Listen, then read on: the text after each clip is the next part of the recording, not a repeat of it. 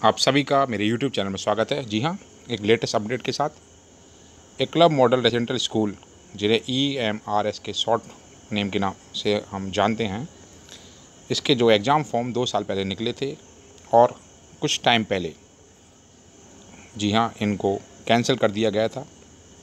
अब, जब इन्हें कैंसिल किया गया तो रिज़र्व कैटेगरी के इसमें किसी प्रकार की कोई फ़ीस नहीं लगी थी, लेकिन अनरिजर्व कैटेगरी के पंद्रह सौ रुपये, जी हाँ टीजीटी के पंद्रह सौ रुपये फॉर्म के लगे थे। और पीजीटी के अठारह सौ या सत्रह सौ के आसपास इसमें पैसे लगे थे। अब सभी कैंडिडेट के मन में ये सवाल है कि जब ये कैंसिल कर दिए गए तो ये पैसा वापस कैसे आएगा?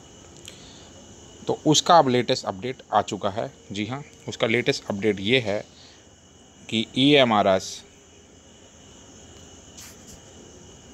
E M R S ने ये अपडेट दिया है। अब रिफ़ंड आने का जो तरीका है, सबसे पहले जो आपने उसमें फॉर्म भरते वक्त ईमेल आईडी मेंशन की थी, उस ईमेल आईडी पे इस प्रकार आपको एक मैसेज आएगा।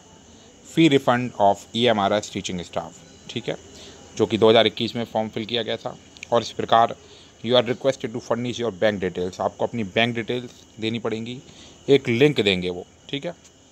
और उस लिंक में आप जाके यानी आपके विद इन सिक्सटी डेज़ वो आपको बैंक में आपको अकाउंट में वो ट्रांसफ़र कर देंगे। तो उस लिंक पे आपको जाना है और उस लिंक पे जाने के बाद आप अपनी bank account number IFC code fill कर देंगे।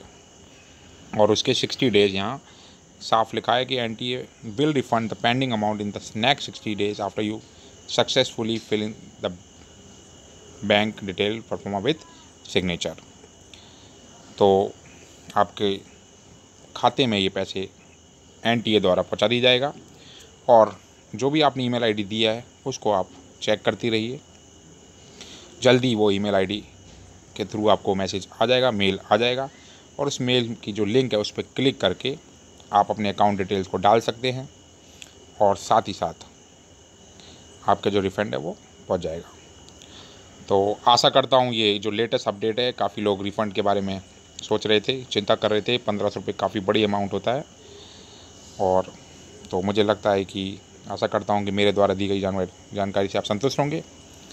साथ ही साथ चैनल पर नए हो तो सब्सक्राइब का बटन जाए, दबाए, बगैर जाना मत। ताकि इसी प्रकार की नई लेटेस्ट अपडेट मैं आपके लिए लाता रहूँ। और किसी प्रकार का कोई क्वारी है तो कमेंट सेक्शन में क्वेश्चन ज़रूर पूछें। धैर्यपूर्वक सुनने के लिए आप सभी का धन्यवाद। Thank you very much